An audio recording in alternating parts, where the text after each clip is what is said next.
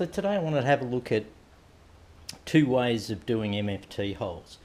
One is to use a router jig and the other is to use a set of rulers and some jigs to help you drill, um, drill the holes.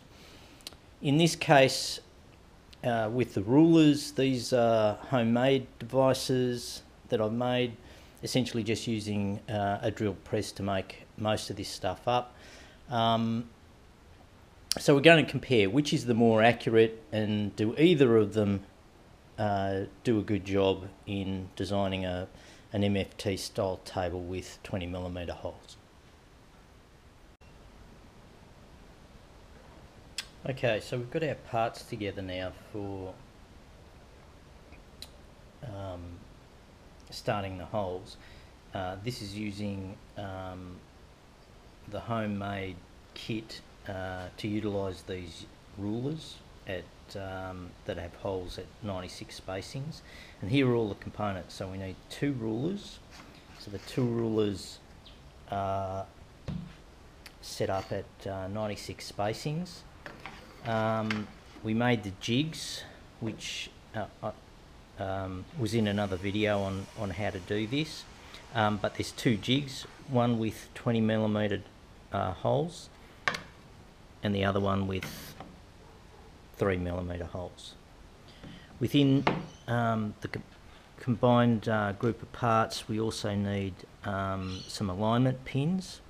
These are the pins that we're going to use for that. These are just um, uh, rivets that have mandrels that are, are 3 millimeters in diameter. Um, something to align the drill bit uh, with, we need a 3 millimeter uh, drill bit and uh, ultimately for drilling the holes uh, a 20 millimeter uh, Forstner bit.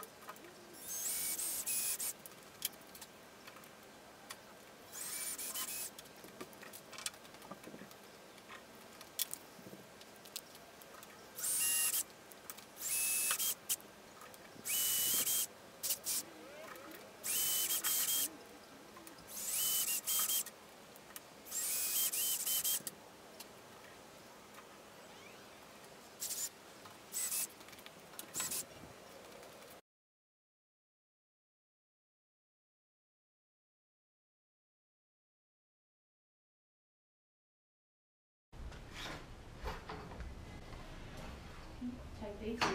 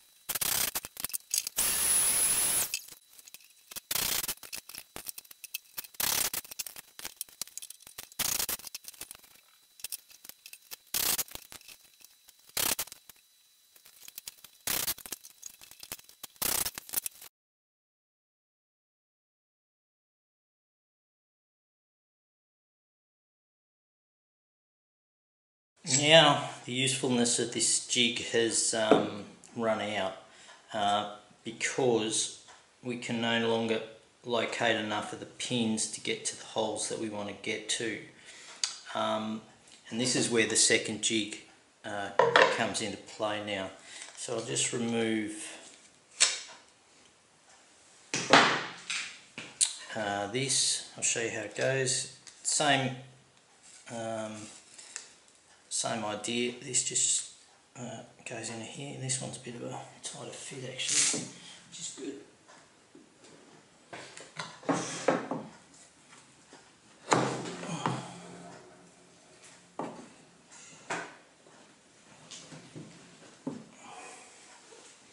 So we just locate it over a hole.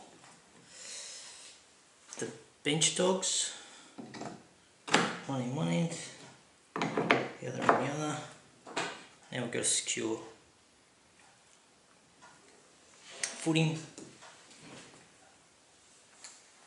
And off we go.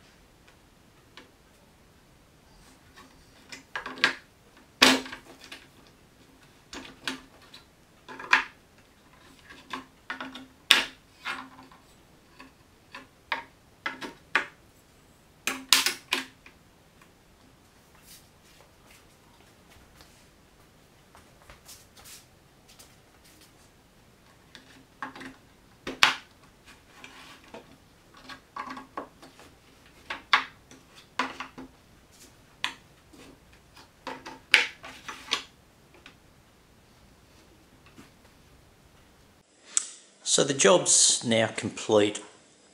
So how did the DIY Parf guide alternative work out?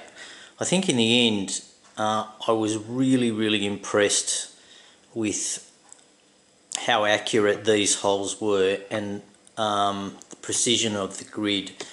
If you, um, I've had several goes at trying to do this with a DIY solution and found um, a lot of challenge in trying to get the rulers accurately done. In this case, um, I did get these uh, particular rulers uh, done by a machinist um, that had a, a, much higher accuracy. Uh, I think it was 0.01 of a millimetre that they could do with their computer controlled jig as opposed to me doing it at home on my um, drill press. But that made all the difference. Um, using that, then uh, making the jigs up at home, um, they seem to work uh, really well. And it's quite impressive uh, how well uh, the holes are, uh, are lined up. I, I was very surprised at the accuracy I got. I've, I've put um, a square all around these and am getting really, really good um, results from what I've been able to do. On the flip side, what I, I didn't particularly like um, about how these holes came out was um, the Forstner bit is tungsten carbide tipped and after the first few holes I accidentally dropped it on the ground uh, on the concrete ground here and chipped one of the teeth um, off the um, the Forstner bit. The result of that was luckily it didn't affect the size of the hole but it made the holes look a bit messier. They're not as clean as they should be um, and there's a bit of tear out uh, which uh, just progressively got worse as I, I worked through this um, number of holes. But outside of that, um, the positions of the holes um, and the tolerance uh, to the holes, it, it's really, really good. So I guess the next stage from here, um, I am going to try using another solution. I've got another table that I want to um, uh, do some more holes on and I want to use a, a router jig uh, for that.